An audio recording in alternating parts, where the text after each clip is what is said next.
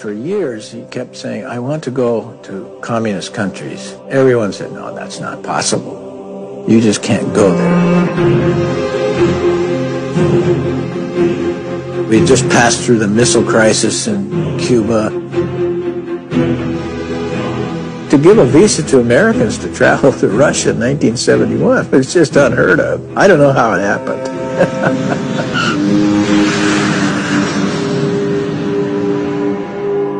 When I was in Moscow airport, as soon as they found Bhagavad Gita, they called police, custom checking. The policeman was kind enough. He said, not serious offense. Don't send him in the concentration camp. As we would pass churches, he would see that there were armed guards in front of the churches. Nobody was going in and out. Prabhupada said after, the ordinary citizens of Russia are spiritual, but because of their leaders, they have no access to God anymore. I went to a bank to change some money. Outside the bank, there were two boys, and they came up to me. Do you have any Beatles records? I said, ah, no, but the Beatles met my guru, and he's back in my hotel room. Wow! and they came back with me to meet Prabhupada. But this Russian boy just drank in every word that Prabhupada said. You know, he asked the most cogent questions right away. You know, who is God? What, who am I? What am I here for? What is real activity? And Prabhupada explained all of that to him in such concise detail. He convinced him completely beyond any doubt that he should take on this mission and take the greatest risk you can take. Religious books were completely forbidden. And in fact, if anybody was even caught producing a religious book, he could be executed. I gave him my Bhagavad Gita, and from that text, he was able to copy it and translate it and spread it throughout all of Russia during communist times. Some of the books were smuggled into the country. They would make photocopies of them. I went to one flat and saw how the all the devotees were sitting with photographed copies of each page and they were stitching the books, putting them together and going out. And from that one little seed, thousands of Krishna devotees came up.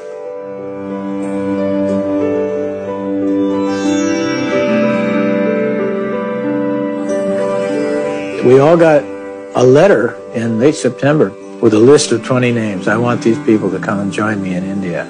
I just looked on the list, my name was on it, I was over the moon. India at last. And he brought back Westerners wearing saffron, shaved heads, seekers, sacred clay, and women in saris. I mean, this was an incredible sight. Americans, Europeans, boys and girls. And it just took India by storm. India had never seen anything like this, these sadhus from the West. People would come up with it and they'd go like this to our skin and look at it like they thought maybe it was going to, this whiteness was going to come off, you know. The whole town was just suffused with Krishna consciousness. The entire town was on fire with devotion. Prabhupada brought his followers back to India because he wanted to revive and tell the people of India that the greatest treasure is the heritage of your own country. But you've forgotten it. You've neglected it. I've brought these people back to remind you of what you have forgotten. India is famous with a spiritual culture. So when he came with so many white-skinned disciples, it was for India, they felt proud for that. Because our culture, Western world appreciate. And then we started putting on major festivals. We got the grounds in the heart of Bombay and built a huge elaborate tent. Several million people over that 10 days got to sit and listen to Swamiji speak.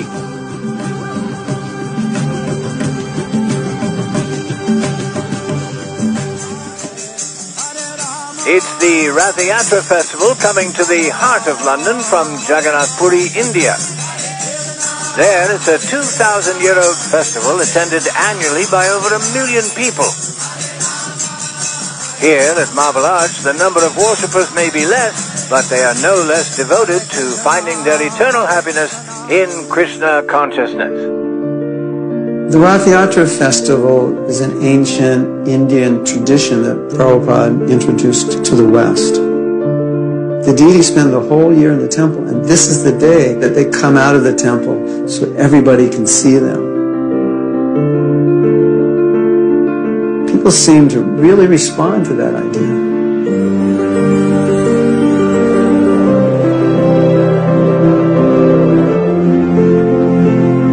Victory for Prabhupada, this Rath going right down like the main byways there in, in London to Trafalgar Square.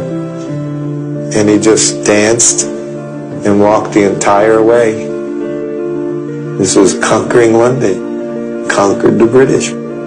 When he was young, when he first met his spiritual master, he was into the Gandhi movement. He wasn't into British rule.